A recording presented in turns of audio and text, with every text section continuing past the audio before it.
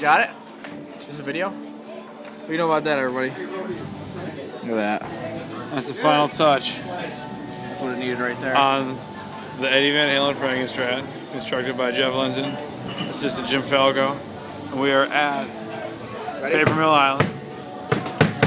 Rio the guitar right here. Bring over, baby. This is a Memorial Day show at the Budweiser Amphitheater. Got our guitar rack here. Number one main guitar, Les Paul Classic. And then a uh, studio.